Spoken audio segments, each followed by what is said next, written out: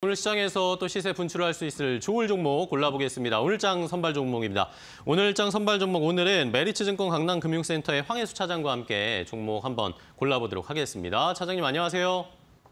네, 안녕하세요. 네, 반갑습니다. 자, 오늘 시장에서는 어떤 종목 어, 보고 계십니까?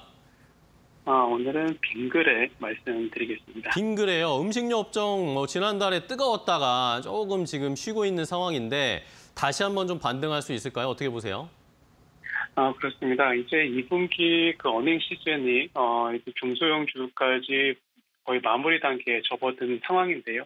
어, 음식료품 같은 경우에는 2분기 실적이 대부분 consensus를 상회할 것으로 예상이 되고 있는 가운데 빙그레 같은 경우도 2분기 실적이 어, consensus를 상회하는 실적이 기대된다라는 점이 긍정적이다라고 말씀드릴 수가 있겠습니다.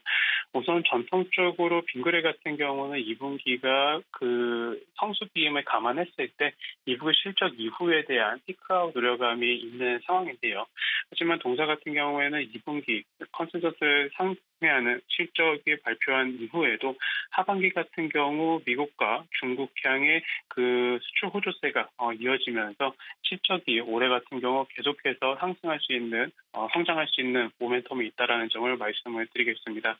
어, 동사의 그 빈과 최대 수출국인 미국 같은 경우 어, 동사의 빈과 판매가 계속해서 호조세를 나타내고 있는 상황이고 중국 법인 같은 경우에도 그 작년에 수출 최고치를 기록한 데 이어서 어, 올해 1분기에도 매출이 꾸준하게 증가하는 모습을 보여주는 상황이기 때문에 2분기 실적 발표 이후 하반기에서는 해외 수출 비중이 점차 높아지면서 이익 모멘텀도 높아지는 어, 영업이익 개선이 기대된다는 점을 말씀을 드리겠고요.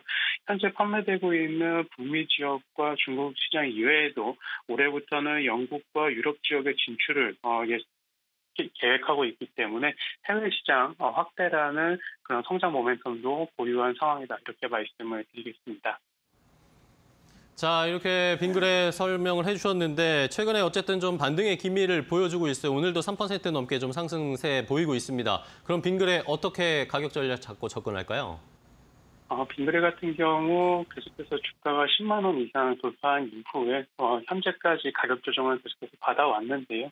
어, 앞서 말씀드린 대로 실적에 대한 기대감 그리고 하반기 어, 이익 성장에 대한 기대감이 유효하다는 점에서 현재 가격 구간대에서는 매수하에 진입하셔도 나쁘지 않은 가격까지 내려왔다 이렇게 말씀을 드리겠고요. 따라서 매수가는 현재가 목표가는 우선적으로 10만 원, 손절가는 7만 원으로 말씀을 드리겠습니다.